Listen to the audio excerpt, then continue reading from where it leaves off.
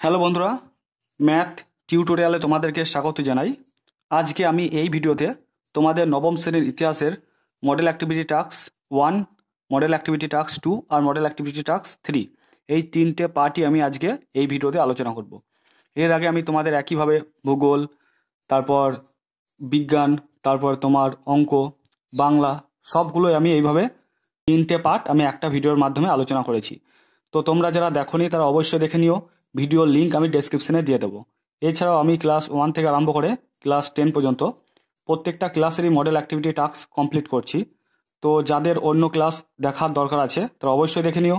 ভিডিওগুলোর link ডেসক্রিপশনে পেয়ে যাবে, অথবা তোমরা প্লেলিস্টে দেখে নিতে পারো।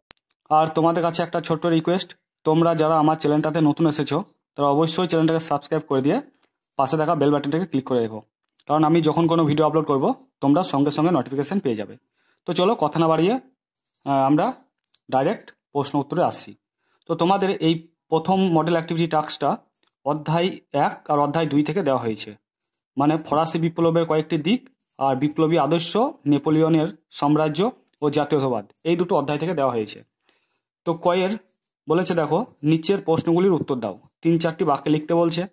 প্রথমটা হচ্ছে, দেখো, চতুর্দশ লুইয়ের আমি রাষ্ট্র উক্তিটি মুর্ব রাজবংশের কোন চরিত্রকে প্রকাশ করে? তো এটার উত্তর আমি দেখে নেব। তো আমি খাতায় লিখেছি, দেখো উত্তরটা। কি লিখেছি? দেখো, চতুর্দশ লুইয়ের আমি রাষ্ট্র উক্তিটি মুর্ব রাজবংশের স্বৈরাচারী ক্ষমতার মাধ্যমে, এইখানে জফলাটা লিখবে না, মাধ্যমে শাসন কাজ পরিচালনার প্রকাশ পায়। এর মাধ্যমে বোঝা যায় রাজা ছিলেন চরম স্বৈরাচারী। রাজা, আইন ব্যবস্থা, বিচার ব্যবস্থা, রাজস্ব ব্যবস্থা ইত্যাদির উপর একছত্র ক্ষমতার অধিকারী ছিলেন। রাজ্যে রাজার কথাই ছিল শেষ কথা। এই আমি, রাষ্ট্র, এই উক্তিটির দ্বারাই বোঝা যায়। তারপর দেখো, দুই নম্বরটা কি বলেছে? ইউরোপীয় রাষ্ট্রগুলির জোটবদ্ধতা কীভাবে নেপোলিয়নের পতনকে ত্বরান্বিত করেছিল? তো এটা উত্তর আমি দেখব। তো এটার জন্য তোমাদের লিখতে হবে এটা, যেটা আমি লিখেছি। দেখো, মস্কো অভিযানে নেপোলিয়নের ব্যর্থতার পর প্রমাণিত হয় নেপোলিয়ন অজেয় নন এই ধারণাটি প্রমাণিত হতেই ইউরোপীয় শক্তিবর্গ তার বিরুদ্ধে জোটবদ্ধ হতে শুরু করে। রাশিয়া প্রাশিয়া ও ইংল্যান্ড চতুর্থ শক্তিজোট গড়ে তোলে। পরে তুরস্ক, সুইডেন ও অস্ট্রিয়া এতে যোগ দেয়। চতুর্থ শক্তিজোট অঙ্গীকার করে যে নেপোলিয়নের পতন না হওয়া পর্যন্ত তারা তার বিরুদ্ধে যুদ্ধ অব্যাহত রাখবে। আঠারোশো তেরো খ্রিস্টাব্দে লিপজিগের যুদ্ধ জাতিসমূহের যুদ্ধ নামে পরিচিত এই যুদ্ধে ইউরোপের তেরোটি জাতি নেপোলিয়নের বিরুদ্ধে একযোগে যুদ্ধে অবতীর্ণ হয়, যা নেপোলিয়নের পতনকে ত্বরান্বিত করে।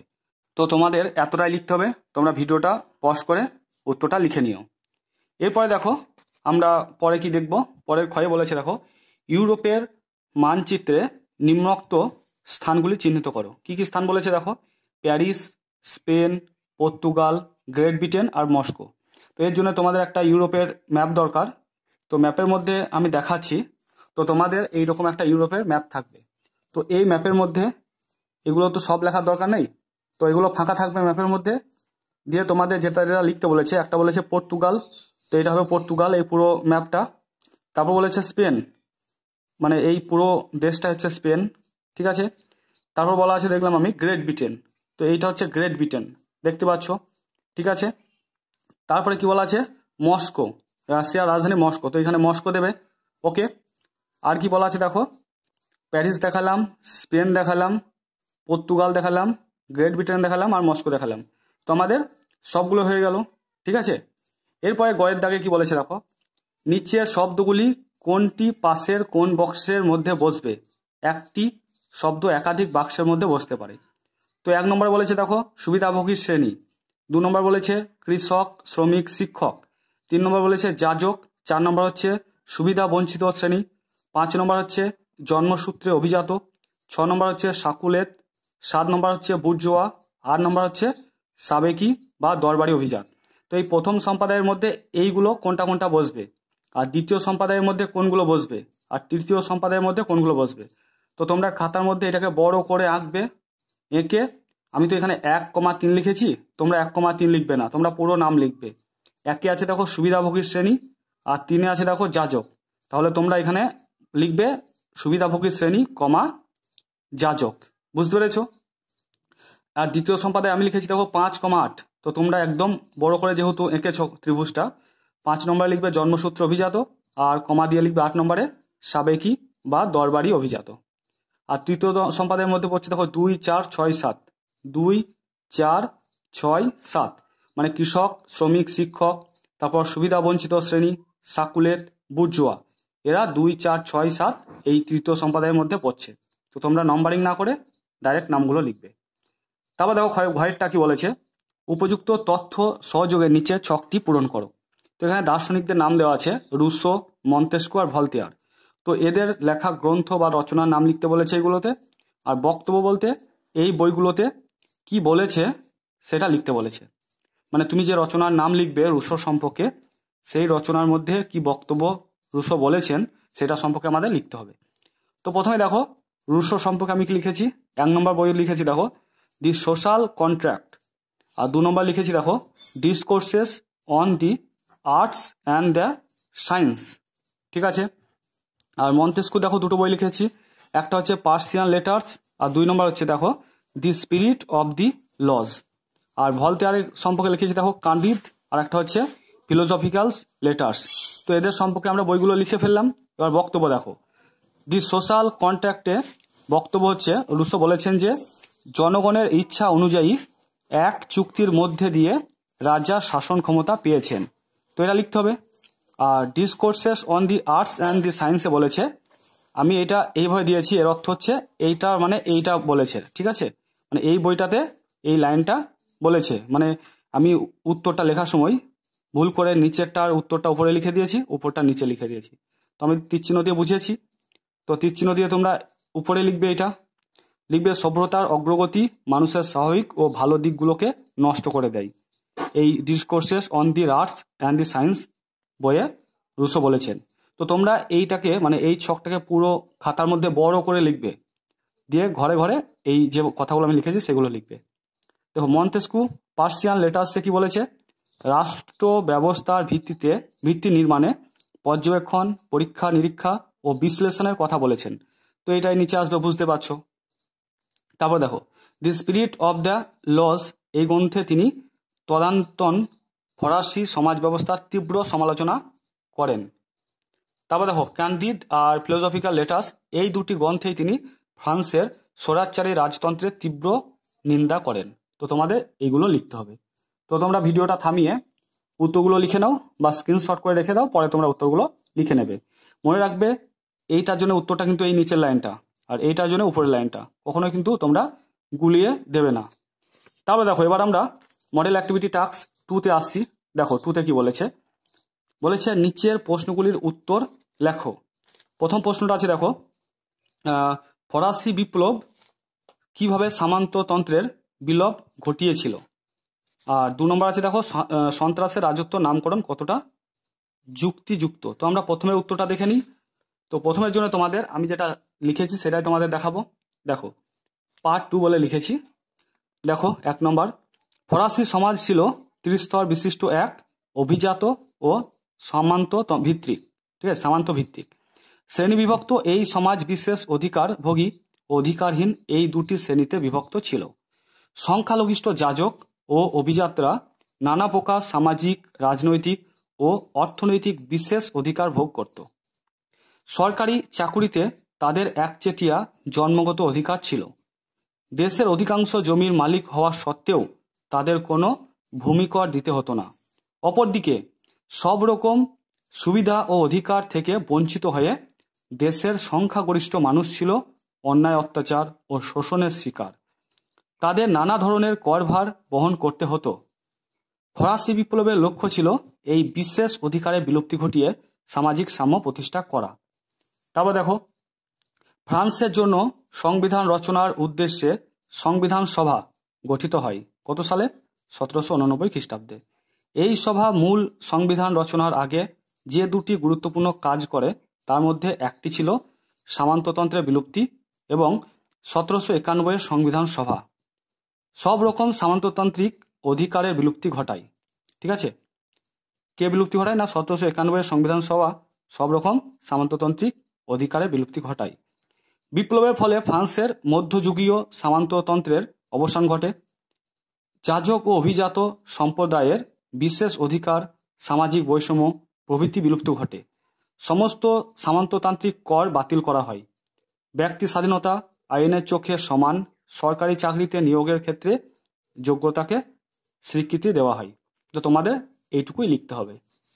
তারপর দেখো, দুই নম্বরটা হচ্ছে সন্ত্রাসে রাজত্ব, নামকরণ কতটা যুক্তিযুক্ত? তো এটার উত্তর আমরা দেখব। দেখো, এটার জন্য তোমাদের লিখতে হবে, ফ্রান্সে প্রজাতন্ত্র বলবৎ থাকাকালীন এক সময় সেখানে সন্ত্রাসের শাসন শুরু হয়েছিল। যখন বিনা অপরাধে বা সামান্য অপরাধে মানুষকে মৃত্যুদণ্ডে দণ্ডিত করা হয়েছিল। স্বাভাবিকভাবেই প্রজাতান্ত্রিক শাসনে এসব ঘটনা ঘটে না। সন্ত্রাস ঘটে স্বরাচারী শাসনে।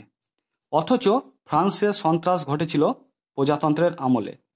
সোরস লুইয়ের প্রাণনাশের ফলে ফ্রান্সের অভ্যন্তরীণ এবং পররাষ্ট্রীয় ক্ষেত্রে এমন এক পরিস্থিতি দেখা দিয়েছিল যখন সন্ত্রাসের শাসন অনিবার্য হয়ে উঠেছিল। ঠিক আছে? দোসরা জুন সতেরোশো তিরানব্বই থেকে সাতাশে জুলাই সতেরোশো চুরানব্বই খ্রিস্টাব্দ পর্যন্ত জ্যাকোবিন দল এবং শীর্ষকর্তা রোবোস্পিয়ার ফ্রান্সে এক বিশেষ ধরনের শাসন ব্যবস্থা প্রবর্তন করেন। রবোস্পিয়রের, ঠিক আছে, রবোস্পিয়রের উদ্ভট আদর্শবাদকে রূপায়িত করিবার জন্য অকারণে বহু মূল্যবান প্রাণ বলি দেওয়া হয়। ঐতিহাসিক ট্যালমন বলেন যে রোবোস্পিয়ার যেন নিজেকে এক ত্রাণকর্তা বলে ভাবতে থাকেন। রোবোস্পিয়ারের ক্ষমতায় টিকে থাকার জন্য সন্ত্রাস চালান। সন্ত্রাসের রাজত্বের ভয়াবহ দিনগুলিতে নিছক সন্ত্রাস সন্দেহের বসে হাজার হাজার মানুষকে গিলোটিন যন্ত্রে হত্যা করা হয়েছিল। ঐতিহাসিক লিও গডসের হিসাব মতো সারা ফ্রান্সে ওই সময়ে কুড়ি হাজার মানুষকে গিলোটিন করা হয়েছিল। আবার ডোলান্ডের মতে পঁয়ত্রিশ থেকে চল্লিশ হাজার লোক বিনা বিচারে নিহত হন। অভিজাত, যাজক, বুর্জিয়া, কৃষক সকল শ্রেণীকে মৃত্যুদণ্ডে দণ্ডিত করা হয়। সর্বহারা বহু মানুষ সন্ত্রাসে বলি হন। বহু নিরপরাধ ও নিরহ মানুষ বিনা বিচারে প্রাণ হারান। এই সময় ফ্রান্সের শাসন ধ্বংস হয়। এই সব আলোচনা থেকে বোঝা যায় সন্ত্রাসের রাজত্ব, নামকরণ কতটা যুক্তিযুক্ত। তো তোমাদের পুরোটাই লিখতে হবে। তোমরা ভিডিওটা থামিয়ে পুরোটা লিখে নাও, অথবা তোমরা মোবাইলে স্ক্রিনশট করে পরে লিখে নিও। ঠিক আছে? তারপর দেখো কি বলেছে তিনের দাগের। নিচের প্রতিটি বিষয় বা ব্যক্তি সম্পর্কে একটি করে বাক্য লেখো। প্রথমে বলা আছে দেখো ওশিয়া রেজিম। তো এখানে আমি লিখেছি ওশিয়া রেজিম। এর অর্থ হলো পূর্বতন সমাজ। তো এইটার তোমরা আর অর্থ লিখতে পারো মানে এটা তোমরা লিখতে পারো। এটা বেশি ভালো লাগছে, দেখো। সতেরোশো উননব্বই খ্রিস্টাব্দ, অর্থাৎ ফরাসি বিপ্লবের পূর্বে সে দেশে পূর্ব শাসকদের রাজত্বকালকে ওশিয়া রেজিম বলা হতো। তো এটাই তোমরা লিখতে পারো। দুই নম্বর দেখো লেটর দ্য ক্যাসে। ফরাসি বিপ্লবের পূর্বে সেই দেশে প্রচলিত এক ধরনের গ্রেপ্তারি পরোয়ানাকে বলা হয় লেটর দ্য ক্যাসে। কি বললাম? তোমরা লিখবে, ফরাসি বিপ্লবের পূর্বে সেই দেশে প্রচলিত এক ধরনের গ্রেপ্তারি পরোয়ানা। দিয়ে লিখবে পরোয়ানাকে বলা হয়, লেতর দ্য ক্যাসে তারপর দেখো, সাকুলত। প্রকৃত অর্থে শহরের খেটে খাওয়া মানুষেরা সাকুলত নামে পরিচিত। রোবোস্পিয়ার, দেখো, রোবোস্পিয়ার ছিলেন ফ্রান্সের জ্যাকোবিন দলের একজন উল্লেখযোগ্য নেতা। তো আমাদের এটা বোঝা গেল। এরপর চার নম্বরটা কি বলেছে দেখো? উপযুক্ত তথ্য সহযোগে নিচের ছকটি পূরণ করো। তো এই ছকটা তোমরা খাতার মধ্যে লিখবে, বড় করে লিখবে। কারণ আমি ছোট ছোট করে লিখেছি তোমাদের বোঝানোর জন্যে। দেখো, প্রথমে এদিকে আছে যুদ্ধ, ট্রাফালগারের যুদ্ধ, লিপজিগের যুদ্ধ, ওয়াটারলুর যুদ্ধ। তো এই যুদ্ধ বিবাদমান পক্ষ মানে কাদের সঙ্গে কাদের হয়েছিল, সময়কাল, কত সালে হয়েছিল, ফলাফল মানে এই যুদ্ধে কে জয় বা পরাজয় হয়েছিল। দেখো, প্রথম হচ্ছে ট্রাফালগারের যুদ্ধ, ফ্রান্স ও ইংল্যান্ডের মধ্যে হয়েছিল। কবে হয়েছিল? না, একুশে অক্টোবর আঠারোশো পাঁচ খ্রিস্টাব্দে। তোমরা এই ঘরগুলো বড় বড় করবে, দিয়ে উত্তরগুলো লিখবে যেন এই আমার মতো যেন দাগ ঘর পেরিয়ে না যায়। চেষ্টা করবে ঘরের মধ্যেই করার, ঠিক আছে? তাই এমনভাবে ঘরটা বড় করবে যাতে সবগুলোই ধরে দেয়। তারপর দেখো, এই যুদ্ধে ইংল্যান্ড জয়লাভ করে। তারপর লিপজিগের যুদ্ধ দেখো, Austria Prussia Russia, Sweden, Bohemia, এই সবগুলো দেশের সঙ্গে হয়েছিল ফ্রান্সের। ষোলো থেকে উনিশে অক্টোবর আঠারোশো তেরো খ্রিস্টাব্দে হয়েছিল। তো এই সবগুলো দেশ জয়লাভ করেছিল, একত্রে আমি না লিখে লিখেছি। ফ্রান্সের পরাজয় ঘটে। মানে এরা জিতেছিল। তারপরে ওয়াটারলো যুদ্ধ? ফ্রান্স এবং ইংল্যান্ড ও পার্সিয়া। মানে ফ্রান্স একাই ছিল আর এদিকে ইংল্যান্ড ও পার্সিয়া ছিল। আঠেরোই জুন আঠারোশো পনেরো খ্রিস্টাব্দে হয়েছিল। ফ্রান্সের পরাজয় ঘটে। তাহলে জিতেছিল কে? ইংল্যান্ড ও প্রাসিয়া। বুঝতে পেরেছ?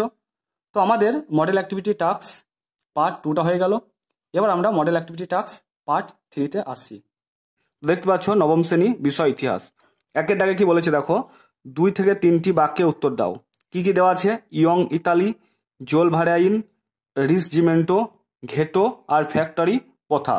তো আমি একে একে সবগুলোর উত্তর দেখাবো। তোমরা দেখে নাও এবং সেই সঙ্গে খাতায় নোট ডাউন করে নাও।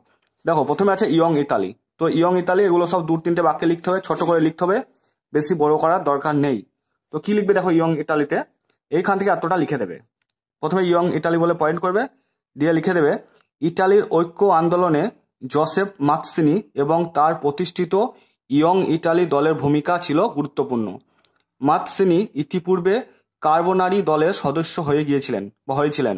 কিন্তু ওই দলের ষড়যন্ত্রমূলক এবং ধ্বংসাত্মক কার্যকলাপের সঙ্গে নিজেকে মানিয়ে নিতে না পেরে মাৎসিনি একটি নতুন দল গঠনের সিদ্ধান্ত নেন। তার এমত সিদ্ধান্তের ফলশ্রুতি হল ইয়ং ইটালি বা নব্য ইটালি দলের প্রতিষ্ঠাতা যেটা হয়েছিল আঠারোশো বত্রিশ খ্রিস্টাব্দে। তো তোমরা এইটুকু লিখে দেবে, আর বেশি লেখার দরকার নেই। যেহেতু ছোট করে লিখতে বলেছে। তারপর দেখো দুই নম্বরটা কি বলেছে মানে ক্ষয়েরটা জোল ভাড়াইন। তো এটা তোমাদেরকে আমি দেখাচ্ছি, একটু ওয়েট করো।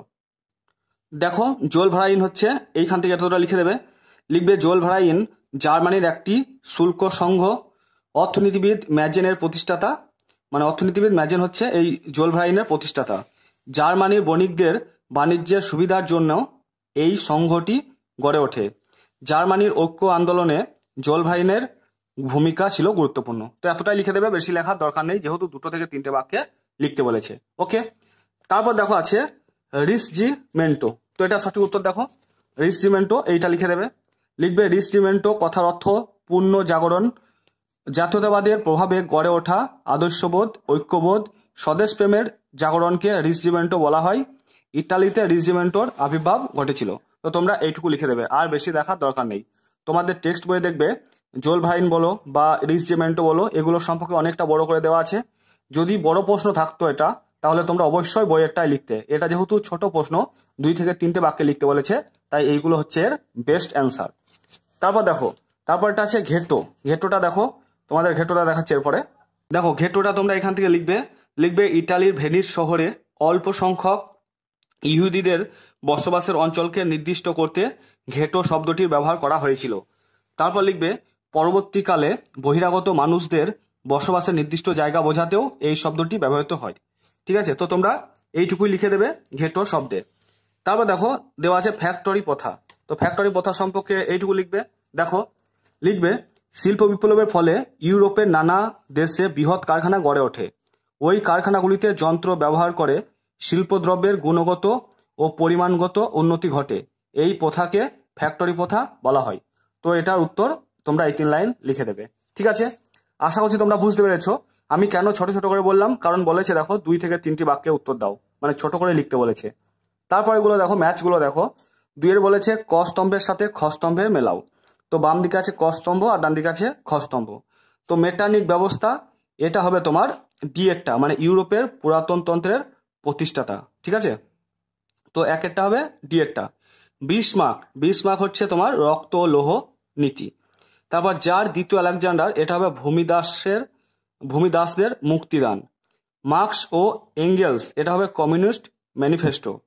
প্রুটো হচ্ছে নৈরাজ্যবাদী, ঠিক আছে? তো আশা হচ্ছে তোমরা তোমাদের ম্যাচটা বুঝতে পারলে। এরপর তিনের দাগের কি বলেছে দেখো? তিনের কয়েকটা বলেছে, বৈজ্ঞানিক যন্ত্রপাতির আবিষ্কারের সঙ্গে ইংল্যান্ডের শিল্প বিপ্লবের সম্পর্ক বিশ্লেষণ করো। তো এটার উত্তর তোমাদের আমি দেখাচ্ছি। তিনের কয়েকটার জন্য তোমরা এইখান থেকে এতটা লিখে দেবে।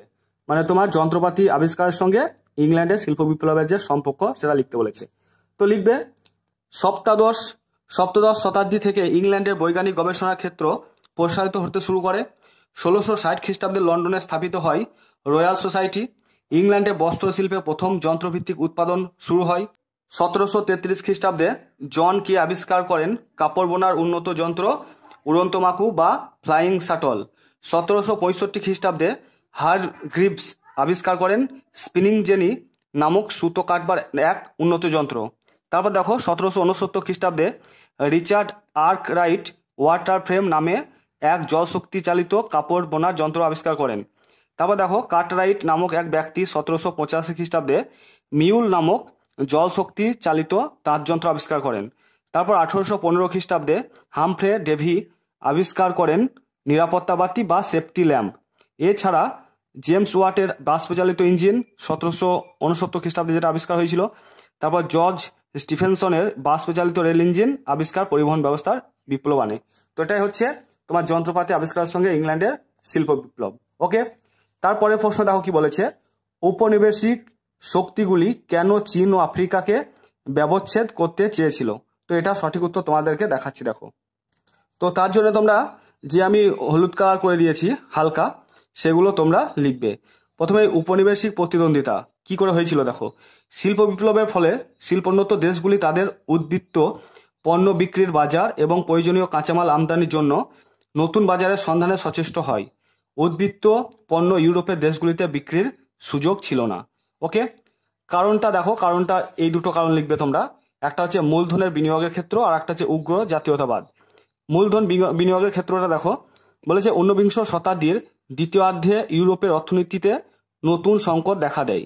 নতুন শিল্প স্থাপনের সুযোগ কমতে থাকায় মূলধনের চাহিদাটা কি হয়? কমে যায়। ফলে মূলধনের পাহাড় গড়ে ওঠে। এর ফলে শিল্পোন্নত দেশগুলির পুঁজিপতি বা বণিকরা মূলধন বিনিয়োগের নতুন অঞ্চল খুঁজতে থাকে।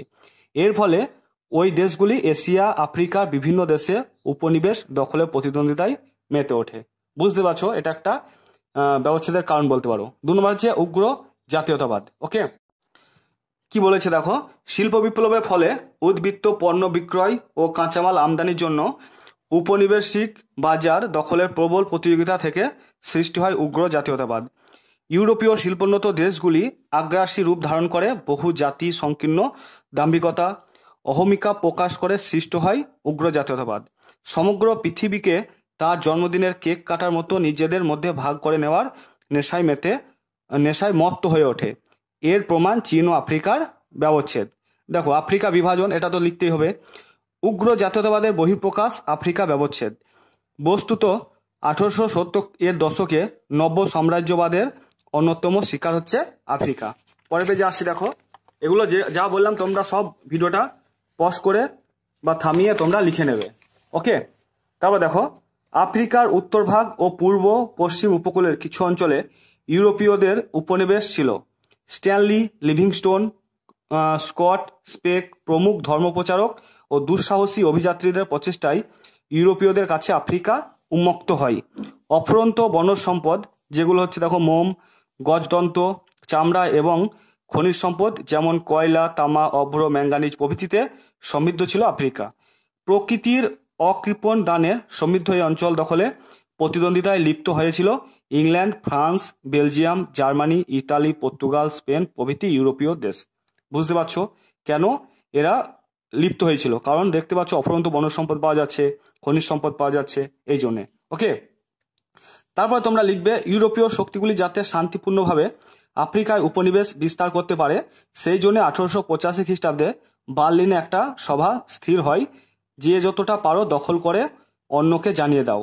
এরপর আফ্রিকা কড়াকড়ি লেগে যায়, বস্তুত আফ্রিকার বেশিরভাগ অঞ্চল ইংল্যান্ড দখল করে নিয়েছিল। বাস এটুকু লিখলে। তারপরে এখানে চলে আসবে। এগুলো লিখতে পারো যে কোন কোন অঞ্চলগুলো ইউরোপীয় দেশের প্রাপ্তি ইউরোপীয় দেশ পেয়েছিল, সেগুলো লিখতে পারো। তারপর চীন বিভাজন। চীনটা লিখবে, প্রাচীন সভ্যতার লীলাভূমি তথা এশিয়ার বৃহত্তম দেশ হচ্ছে চীন। চোদ্দশো আটানব্বই খ্রিস্টাব্দে পর্তুগিজ নাবিক ভাস্কদা গামা ভারতে এলে ইউরোপীয়দের কাছে প্রাচ্য উন্মুক্ত হয়। চীনে প্রথম পদার্পণ করে পর্তুগিজরা। এরপর ইংরেজ ও ফরাসি বণিকরা চীনের সঙ্গে বাণিজ্যিক সম্পর্ক স্থাপনে উদ্যোগী হয়। কিন্তু রক্ষণশীল চীনা শাসকরা কেবল ক্যান্টন বন্দরে ইউরোপীয়দের বাণিজ্য অধিকার দেয়। ঠিক আছে? তো তোমরা এতটাই উত্তর লিখবে। ঠিক আছে? তো বন্ধুরা, আমি এই ভিডিওতে model activity task part one part two আর পার্ট থ্রি একসঙ্গে আলোচনা করলাম। ভিডিওটা দেখার পর যদি ভিডিওটা তোমাদের ভালো লাগে, তো অবশ্যই ভিডিওটাকে লাইক করো।